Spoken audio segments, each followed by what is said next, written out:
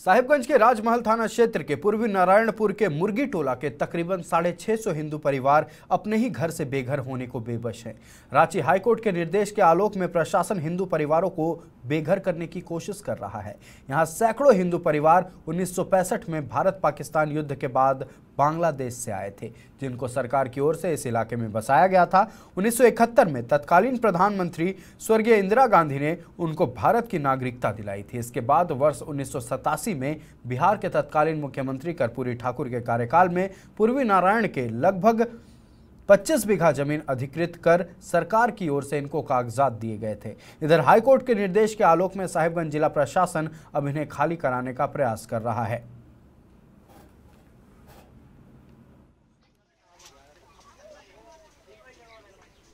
पूर्वी नारायणपुर, दियारा को लेकर एक हाईकोर्ट में केस चल रहा है। यूसुफ शेख बनाम सरकार उसी में मेज़रमेंट और आइडेंटिफिकेशन का एक इशू चला आ रहा है। काफ़ी समय से ये अस्सी के दशक से ही चला आ रहा है। उसी केस में जो हाईकोर्ट का आदेश आया था, उसका हम अनुपालन कर रहे हैं। परंतु जो भी लोग अभी उस क्षेत्र में रह रहे हैं, उस मोजा में रह रहे हैं, उन प्लॉट्स पे रह रहे हैं, उनको किसी को भी डिस्प्लेस या कहीं और विस्थापित नहीं किया जाएगा। जो जहाँ रहा, रह रहा है, वो वहीं रहेगा। केवल मेज़रमेंट का इशू है। जहाँ जहाँ जिस प्लॉट की हमको मेज़रमेंट की आवश्यकता होगी, वो प्लॉट को हम मेजर करेंगे।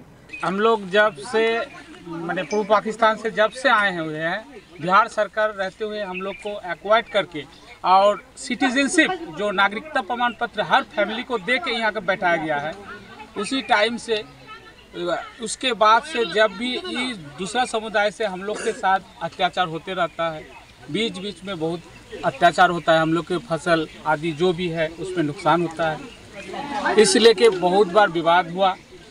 विवाद होने के बाद लोकल प्रशासन हम लोग के साथ सहयोगिता करके हम लोग को बैठा। फिर भी हम लोग शांतिपूर्ण यहाँ पर रहते हैं। अभी कुछ फ़िलहाल, कुछ टाइम से जो बांग्लादेशी घुसपैठियों के लिए यहाँ पर अड्डा बन चुका है। हमें लगता है कि हमारे प्रति जो है, ये भूमाफिया जो है, ये मैक्सिमम जो है, बांग्लादेशी घुसपैठ है। और ये बांग्लादेशी घुसपैठ जो है, चाह रहे हैं कि किसी तरीके से इस ज़मीन को हम लोग कब्जाएँगे। और यहाँ जो है, इस ज़मीन को कब्जा करके वो बांग्लादेशी घुसपैठी को देंगे। क्योंकि ये जो जो लोग डिमांड कर रहे हैं ज़मीन का, इन लोगों का कोई वास्ता नहीं है इस ज़मीन से। तो मुझे और ये लोग जो है, हर समय अत्याचार भी करते हैं हमारे ऊपर। हमारे यहाँ का ज़मीन का फ़सल लूट के ले जाता है रात को। हमारे यहाँ ज़मीन को जो है, ज़मीन का फ़सल को जला देते हैं।